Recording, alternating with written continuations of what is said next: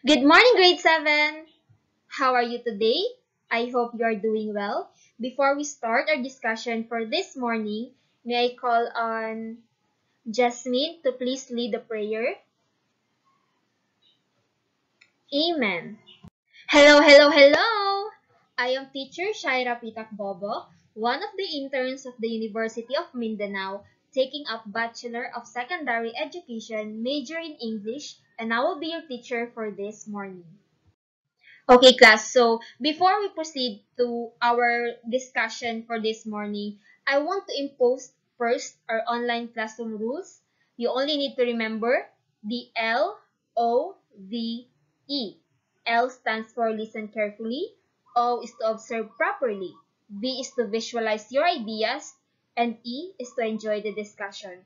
By the way, class, for your attendance, type in your full name in the chat box. And if you can turn on your cam, it will be highly appreciated. Okay, class, so let's have a review first. As you can remember, last meeting, I have discussed about bring in self-discipline through a parable.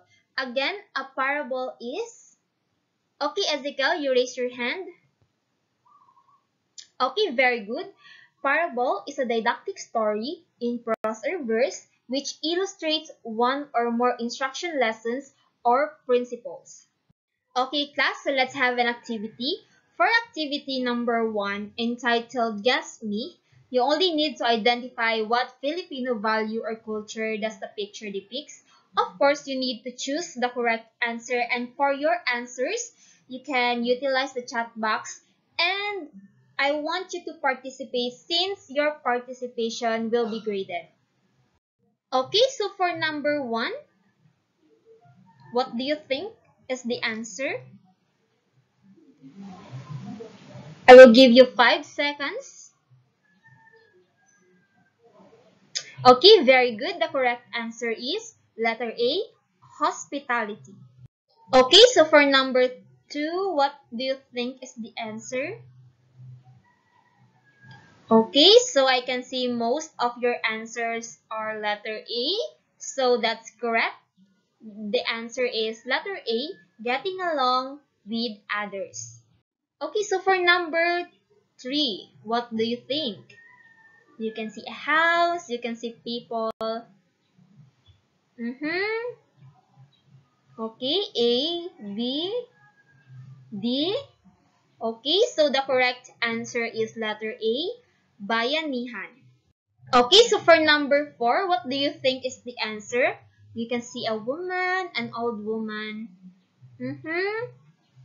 Letter C. Okay, letter D. Your answers are quite different from each other. Mm -hmm. Okay, so the correct answer is letter D, debt of gratitude. Okay, so for number 5, what do you think is the answer, class? Mm -hmm. I can see uh, letter A, letter C, letter D, letter B. Mm -hmm. So your answers are quite different from your classmates. Okay, so what do you think is the correct answer? Mm -hmm. Okay, so the correct answer class is letter D, getting along with each others. Okay, so the last item, what do you think is the answer?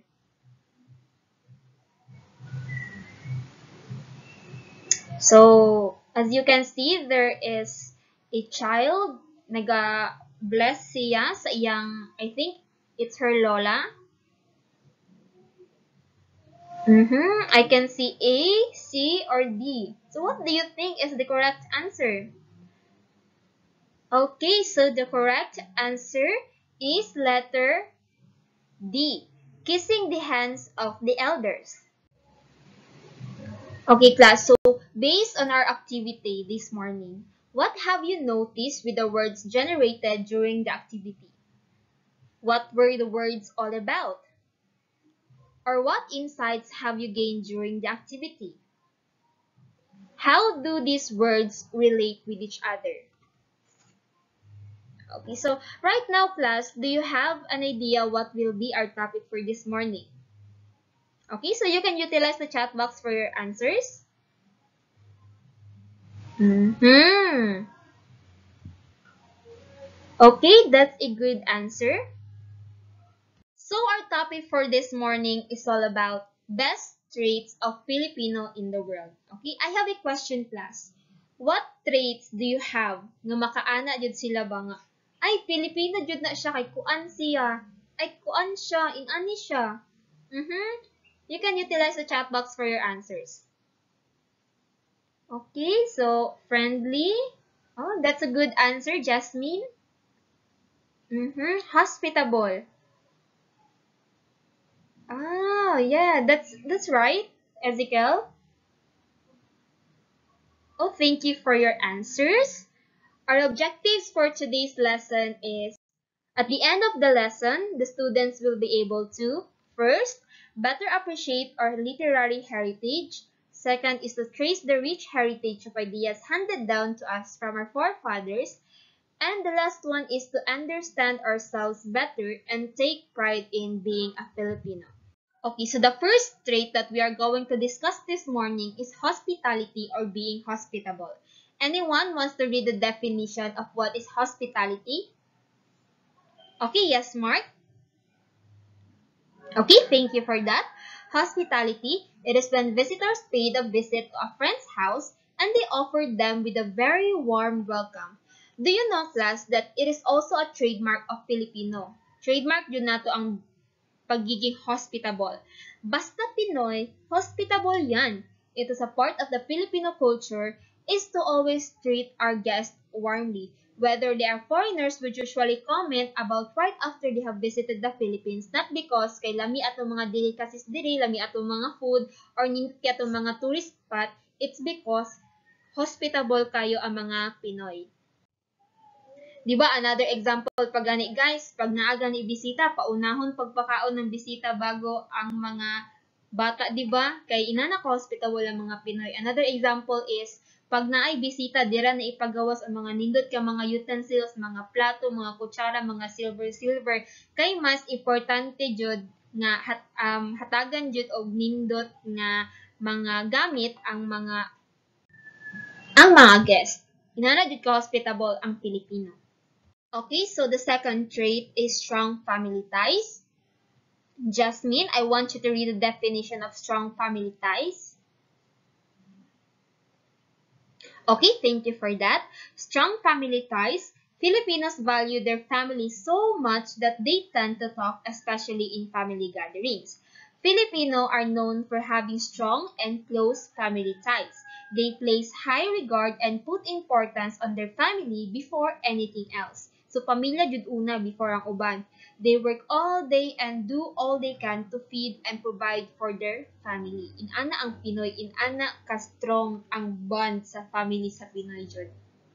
Okay, so the third trait is bayanihan.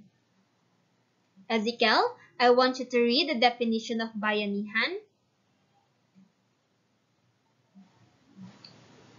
Okay, thank you for that. Bayanihan, it literally means being in bayan, which refers the spirit of communal unity work and cooperation to achieve a particular goal. It is also an enduring positive Filipino values that inspire the community to help fellow countrymen in form of need without expecting anything in return. It also means that we are mutually helping each other. Okay, so another trait is utang na loob. I believe class that this term is familiar na sa inyo since common naman yun siya no, utang na loob. Utang na loob, it is an obligation to appropriately repay a person who was done one favor.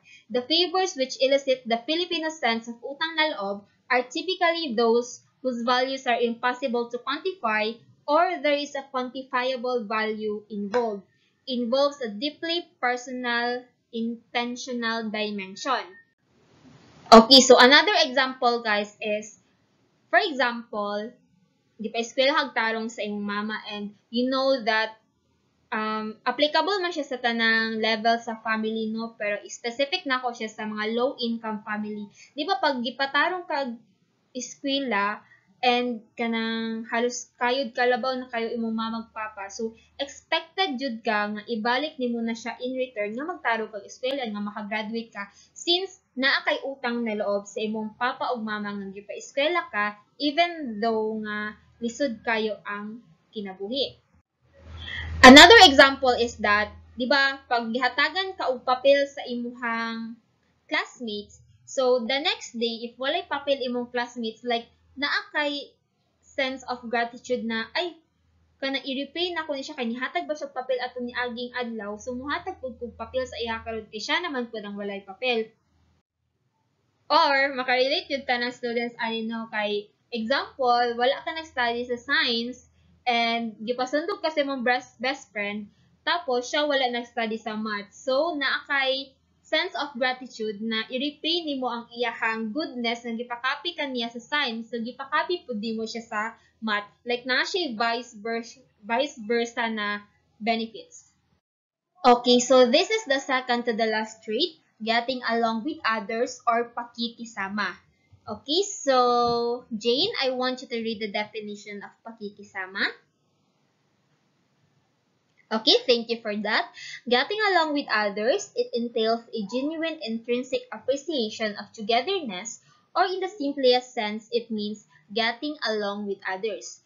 The prevalence of pakikisama is one of the reasons that the Philippines is seen as such a friendly country. Di ba makaanya tanong nga bisag asa ta ibutang or bisan asa man ta moadto bisag sa Europe pa na, sa China pa na, sa Korea pa na kay how jud makisama ang mga Pinoy. Okay, so this is the last trait class, kissing the hands of elders. So in other terms, pwede siya pagmamano.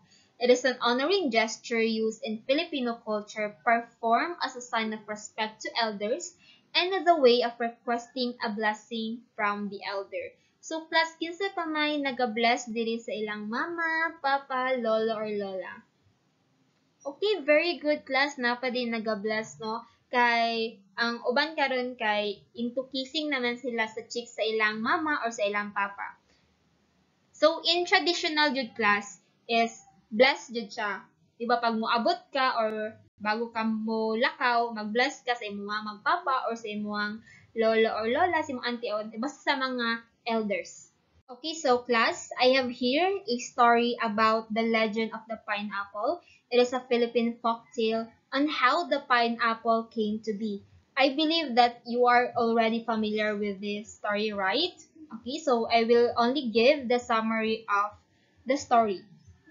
Okay, so the story of Pina is a folk tale about a young girl named Pina. She was without a doubt the most spoiled child her village had ever seen. So bad naman siya na pagkabata, no? When her mother grew ill, Pina could not be bothered to help even though her mother only asked her to boil some rice. Badlungon na gani, di pa jud masugo. Grabe jud. Pina claimed she couldn't find the ladle. Pina disappeared and the neighbors had to help her get well. Her mother searched for Pina but couldn't find her. Finally, her mother found a large round fruit growing a thousand unseeing eyes. Her mother took the seeds from the fruit and grew a lot of them then gave them to the people in the village. This was the first and only generous thing Pina had ever done for anyone else. Grabe no, nagsakit man gud iyang mama tapos siya paluton sa siyang mama ba tapos lugaw ra pa jud. So dali education lutuon no. Tapos wala siya nagluto since wala daw niya nakitaan ang luwag. So na-curse niya na na-curse siya sa iyang mama ba nga ginan magud siya na kanang unta matubuan kag daghan kay mga mata sa imuhang simong body kay para lagi daw dili na siya maglisod og pangita. Sa unsay ipapangita siyang mama. Then then just look at the picture of pineapple. Di ba daghan siya og mata? And that's how pinya came to be Okay, class. So before we proceed to activity number two, I have two questions. So you can utilize the chat box for your answers. Dali siya. What household chores do you take part at home as a way of helping your parents? Either nagahugas pa plato, nagalaba, nagasilhig, what? You can utilize the chat box for your answers. Okay, so nagahugas daw siya plato. Very good. Ana, Jude? Nagasilhig, nagalaba, wow. Okay, so buutan kay mga grade 7, no? Number 2 question is, Is it important to help them in doing this task at home? Okay, yes. So most of your answers are yes. So thank you for that. So for activity number two, okay, so this is the instruction. As you walk through the final lesson, unlock the message of the quotation using the icon guides below. Okay, so basically, i-unlock man mo ang message class. So, naaman siya yung mga icons, icons diri sa ibabaw nga naga-corresponds. Example, kaning A, tapos mo siyang triangle. Okay, so after you have unlocked the message, write a one-paragraph message to yourself on how to become the better version of yourself as a Filipino and as a student. Okay, so I will give you 7 to 10 minutes to do that since um, we have plenty of times pa naman. Okay, so after 10 minutes is we will be doing an oral recitation. Okay, so I will going to call like 3 to 5 person. So you only need to share your answers to the class, okay? Okay, so good job grade 7. Nindot yung inyong mga answers, no? So let's give ourselves a round of applause. Okay, so for your asynchronous task, so this is the instruction. Okay, so these are the question class. Number one, what worldwide problem faced by the people today? Number two, how will people solve this problem? What Filipino traits are needed to help improve the situation? And number three, what small act will you do to contribute to the solution of this problem? Just send it to my email class. The deadline will be on April 22, 2022 at 11.59 p.m. A4, the font size is 12, the font name is Arial, and justify it. So, um, it can be paragraph form or bullet form, your choice. Okay, class, so that sums up our discussion for this morning. Are there any questions, clarifications, or violent reactions? Okay, so if there's none, thank you and God bless grade 7. Once again, I am teacher Shaira Pitakbobo from the University of Mindanao. Bye, class!